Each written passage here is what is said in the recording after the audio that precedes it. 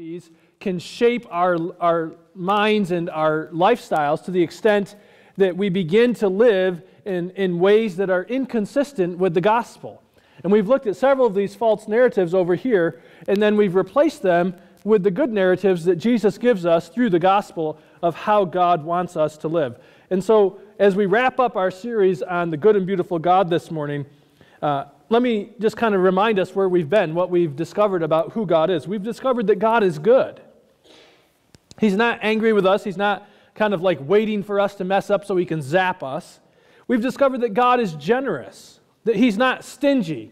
He doesn't wait for us to prove our value to Him before He gives us good things. That God is trustworthy, we, we discovered. He's not fickle, He doesn't show favoritism. God is love. He, he loves us even though we do not love Him back many times. God is holy, and He abhors sin and its destructive influences in our lives. God is self sacrificing, and He takes the punishment of sin on Himself so that we can have victory over sin and death. And then we discovered that God transforms us. That God comes and doesn't leave us where we are, but instead He fills us with the Spirit who then reshapes us into the image of Christ. And this morning we're going to close as we look at this final false narrative that God wants me to be busy doing His work. And instead, Jesus points out that God wants us to be in relationship with Him, that the primary desire for God is that God wants us to be with Him instead of doing for Him. And so we're going to go to Luke chapter 10 for our scripture passage this morning. Luke chapter 10, it's a familiar story, the, the story of Mary and Martha. Many of you may have been thinking, well, that's probably where he's going to go this morning after what he's uh, been talking about in the, in the introduction. But this, this is a great story. It's a story of a family that really loved Jesus and supported him in his ministry. Uh, Mary and Martha's home was also the home of Lazarus, and we see Jesus raised Lazarus from the dead because he loved him, and he loved him so much that he wept over the news that Lazarus had died. This is a family that supported Jesus financially as well as showing him hospitality whenever he was in their area. They would say, Come and stay at our house and rest and be refreshed here with us. And so it's not surprising that we find Jesus and his disciples making their way to Mary and Martha's house when they are in that vicinity. And here again in Luke chapter 10, starting with verse 38, we discover that very thing taking place. As Jesus and his disciples continued on their way to Jerusalem, they came to a certain village where a woman named Martha welcomed him into her home. Her sister Mary sat at the Lord's feet listening to what he taught. But Martha was distracted by the big dinner she was preparing. Thanksgiving week, right here. She came to Jesus and said, Lord, doesn't it seem unfair to you that my sister just sits here while I do all the work? Tell her to come and help me.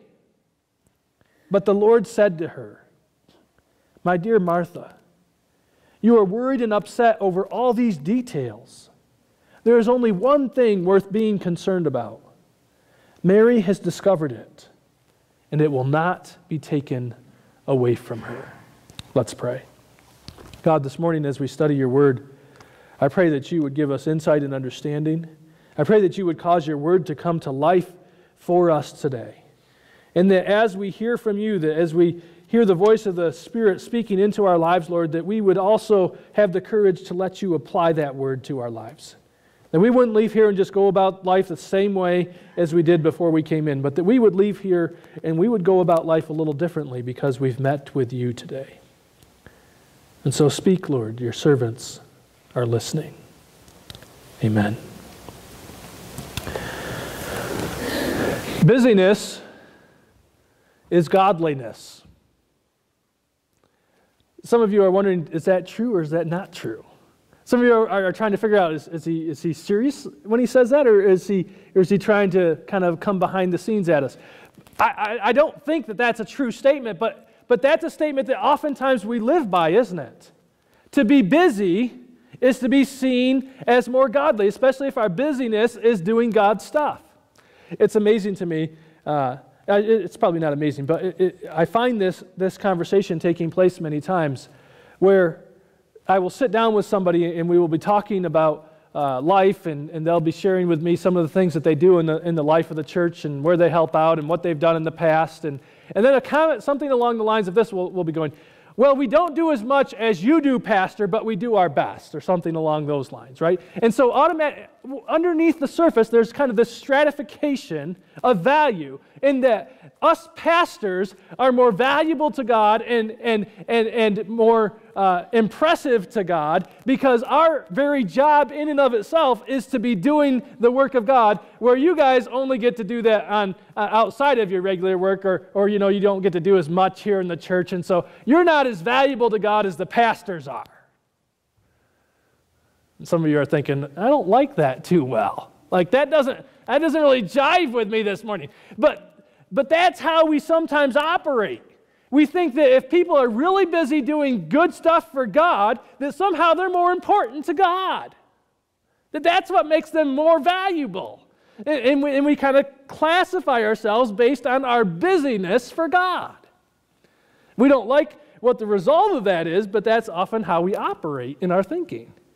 We put busyness, doing all these good things for God, uh, on kind of the same bar as godliness or holiness, we might use a term there. Now, it's no wonder that we do this because we live in a culture that values busyness. In 2012, Ray Williams, who's a psychologist, wrote this in the journal Psychology Today. He says, Talk to almost anyone today, and they complain about having no time, about being too busy. But now we also equate that busyness to productivity and a characteristic of a successful life. If you talk to somebody who isn't busy, you think that they're lazy. Right? I mean, we just automatically draw that conclusion in our culture. Like, if you don't have 18 things on your phone and three things that are like at the same time that you haven't figured out how you're going to be at both things at the same time yet, but you're still fig- you're, you haven't like eliminated any of those things from your calendar to do yet, we think that you're pretty awesome. We're like, we're like, wow, how do they do all of that? They must be really good. They're really important. They're really valuable. Because we base our value on our productivity. That's how our culture bases value. That's why in the culture, people are less concerned about things like euthanasia because we're talking about people who can't produce anything. They're not productive anymore. You know, so, so we, we, all, we already are, are kind of like shoving people who are not productive off into the margins. You know, we, we marginalize them, we put them away in places where other people can take care of them and they don't slow us down. Because we value productivity. And when you become unproductive, you become less valuable. And, and that's not just in the culture, is it? It's here in the church too. Oftentimes, we, we evaluate people's worth based on what they can do, not on who they are. When I was a kid growing up, we didn't have a TV, and so we listened to a lot of music on the radio and tapes and things like this. And uh, so, yeah, I was old enough that they had tapes, they didn't have CDs yet. Some of you, you know, that's like, well, I was old. You know, when I was old, they didn't even have tapes. They had what, you know, we had vinyl and then, oh, you know, whatever. But anyways, uh, we had, it's second service. My mind's starting to go, you know. Um, so we had, we had these tapes, and, and one of these tapes was uh, songs that animals would sing about their characteristics. And so there was a song about a beaver. It was something like, It's so great to be, be, be a beaver, to be a big a achiever. There's no job too big for me. I just do it cheerfully. It's so great to be a beaver. I don't slow down, don't fool around. You know, and, uh, and, the, and, the, and the, the message of the song kind of like sunk into me, right? Like, so I became like this person who, who would always be looking to do. My, when my parents would go away, I, I was the one who would be put in charge of the farm, and my brothers hated it because dad would give us a list of five things and I would bring out a list of seven things.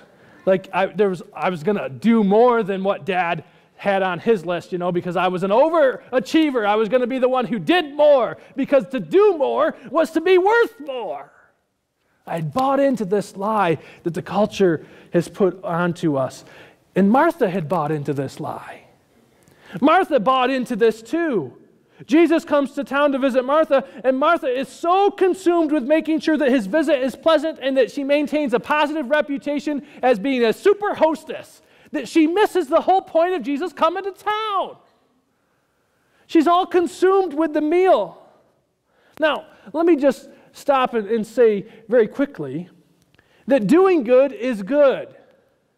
And working for Jesus is good and valuable, and we need people to volunteer. If we get inundated with calls on Monday for people canceling on their service, like saying we're no longer going to serve in the church, you missed the point of this message, okay? That's not what we want to have happen. We need you to be serving in the church, absolutely. But sometimes we take our value from that service.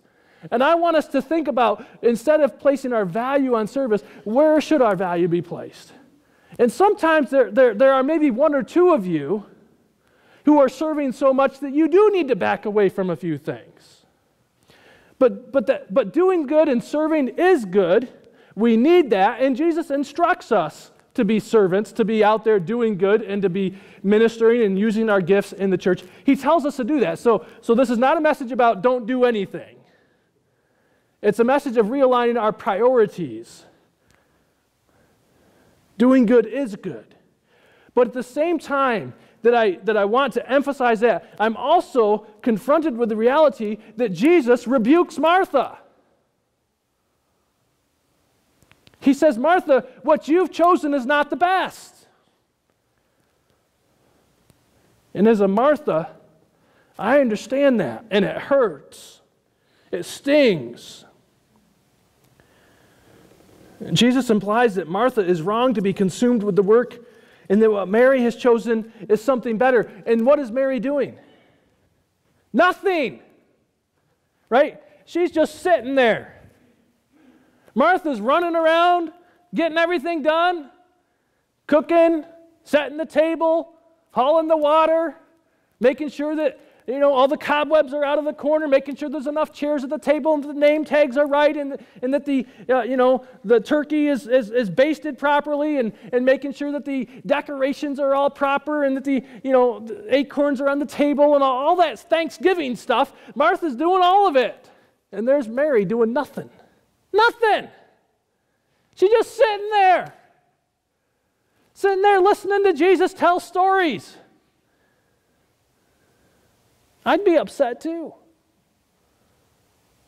And yet, Jesus tells Martha, listen, what Mary has chosen is better. It's better.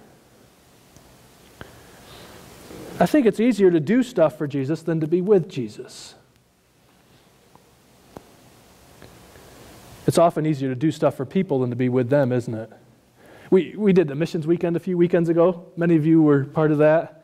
We had people that went up to City Mission in Buffalo. We had people that uh, went out to various agencies uh, around our communities. And the group that I was with, uh, we went down to this uh, individual's home in a trailer park, and uh, the fence around his, his property had, had come into disrepair and needed to be replaced. And there were some skirting issues and some stuff that needed to be cleaned up. And so we went down ahead of time and we looked it over and thought, saw what needed to be done, and we made a list and we brought our tools and we got there early. And, and the guy that, that owned the, the house, uh, he works nights, and so he was kind of in the, in, in the house sleeping. And he kind of came out and talked to uh, the Normans, who were our group leaders, and, and said, You know, all right, I, hear, I see that you're here. And then he went back in and he went to bed. And, and uh, so we're trying to be quiet while we're doing all this, you know, weed whacking and all this stuff around the house. I'm, felt sorry for the guy, but, but we had this, this you know, list of things to do. And so I'm out there and I'm digging holes for the post and we're going to get this new fence put in. And, and the neighbors come over, right? And, and they're kind of talking to a few people on the side. And, and, uh, and I'm digging a hole and, you know, and I'm doing something over here. And I look over and, and there's like two people just talking to the neighbor. And I'm thinking, we've got stuff to do right? I mean, we, we got to get these weeds out of here. We got to get this fence in, you know, and there's supposed to be a luncheon bag. We got to we got a timeline. We can't spend time talking to the neighbors until we get the work done.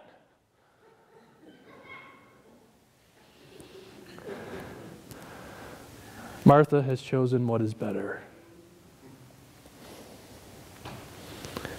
Ouch. Being with people is harder than doing for people because when you're with people, they tell you their stories. And now you've got to carry that emotional burden. You've got to get involved in the drama. You gotta, you gotta like let some of that emotional impact touch your life and your heart, and all of a sudden you can't just be at a distance, right? It's it's easier to be relational from a distance, right? It's it's kind of like grandparenting. We have some of the kids with us today, and we love having them. It's also nice to send them home.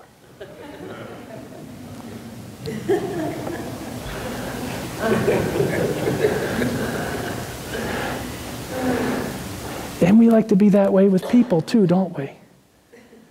It's hard to let people into your life because you know it's going to rob you of more than your time and your money. It's going to rob you of part of your soul. It's a heavy burden to carry the burdens of people who walk with you through life and that you allow yourself to walk with. Being is more difficult than doing.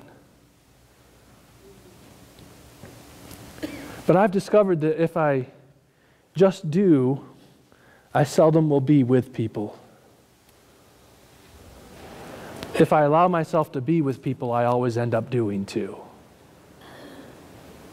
If you're with someone first, then you'll do for them because you can't be with people and not do for them. And so, what, is, what does Jesus tell Martha? Jesus tells Martha, listen, you've got the priorities backwards. It's not that doing is bad, it's that doing must emerge from being. When we are with people, then that mutual relationship instructs us and informs and shapes how we do and what we do for them so that it becomes legitimately and realistically helpful and beneficial to them because it comes out of this relationship of love that is already established.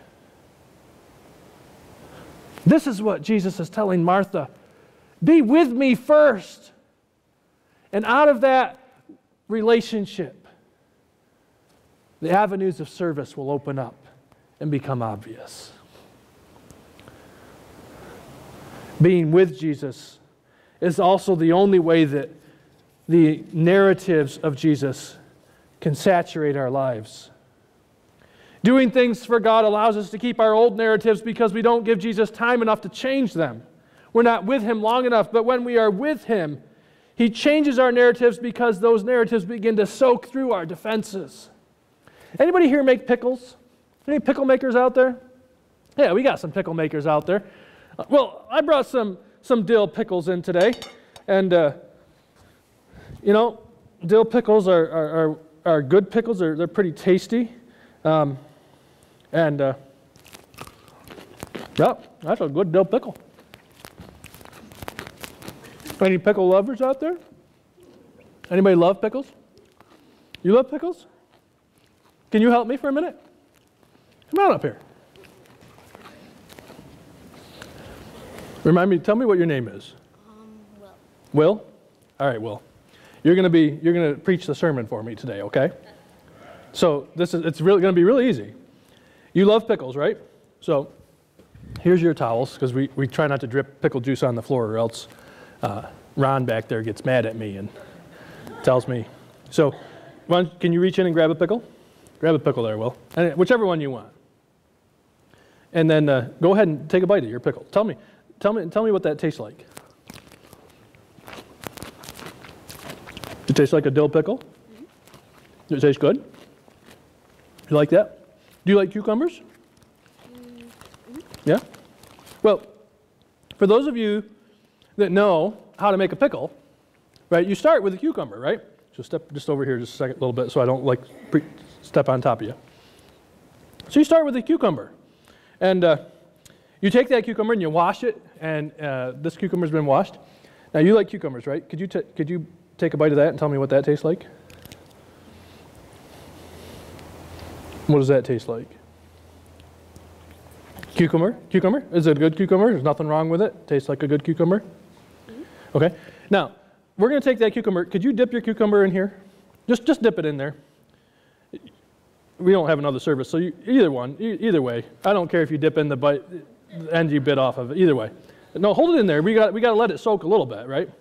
So, so we're, we're going to put that cucumber in here because that's how you make a pickle, right? You take a pickle and you stick it in the, in the, in the brine, in the juice, right? And then it turns into a pickle, right?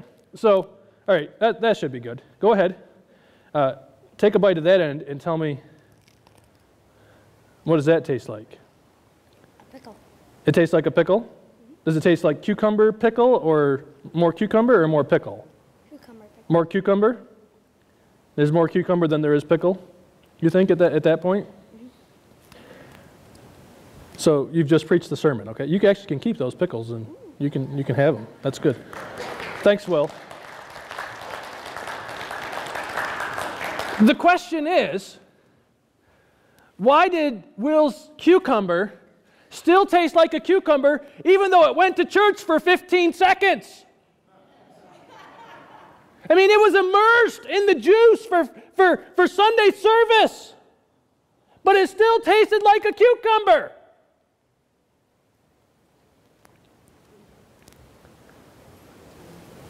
Why do we expect our lives to somehow radically be transformed if we don't allow ourselves to stay in the pickle jar more than just a service on Sunday? A cucumber takes four to six weeks to turn into a pickle.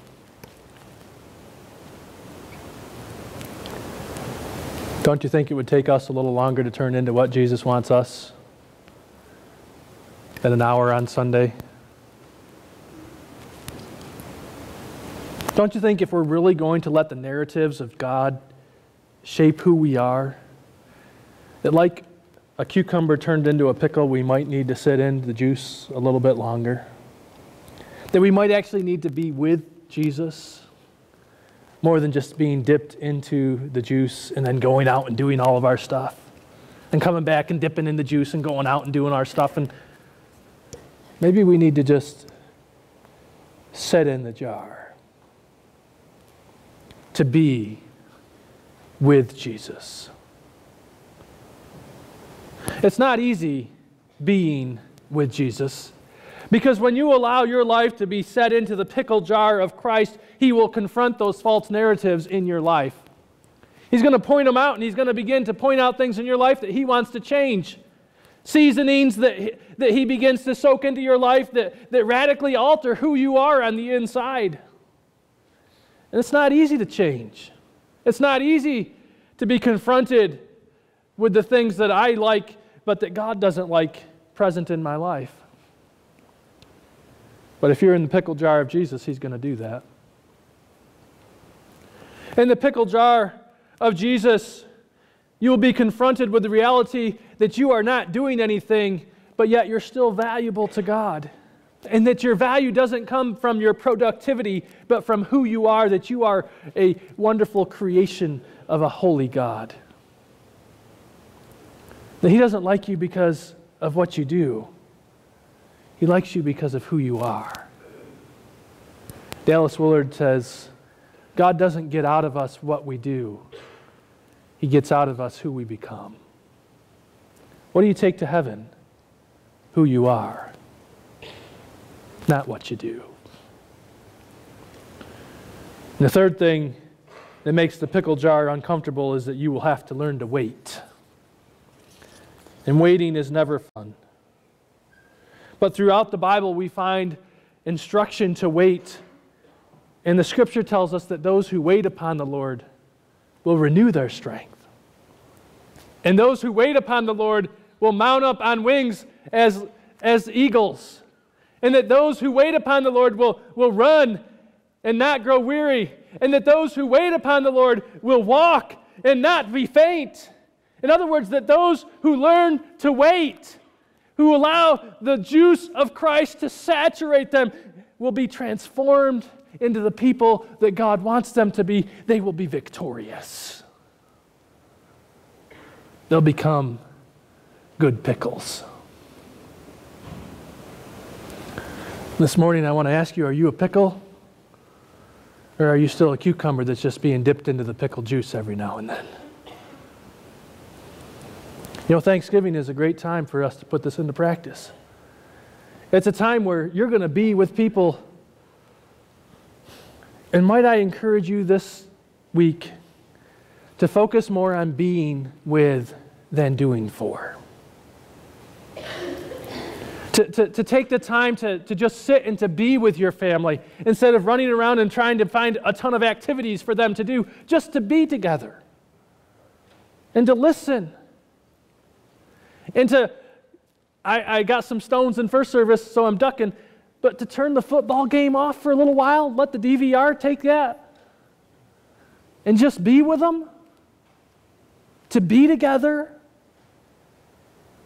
You can watch that game later, but you can't watch Thursday later. To be, to be with, instead of to do for. Because when we focus on being with, God releases our do fors in more substantial and transformative ways. Because it comes out of the heart, it comes out of a relationship, both with Him and with those around us. Are you a pickle? Or are you still just a cucumber? Let's pray.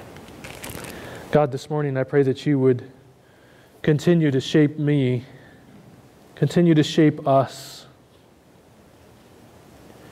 Father, give us the courage to allow ourselves to sit in your presence, to not keep running away from you to do stuff, but to just sit with you, to be with you and to allow our doing to emerge from that relationship and not from a sense of obligation. I pray that you would help us as we interact with our families this week, Lord, to, to be with them more than to do for them. And God, that we would value their relationship and the value that comes from just being together. Show us, Lord, how you have designed us for that deep intimacy and relationship. And out of that, Lord, then open up opportunities for your love to be expressed in powerful ways. Help us to be pickles and not just cucumbers. In Jesus' name, amen. Go this week to love and serve the Lord. The Lord is with you. Are you with him as you go this week? Amen.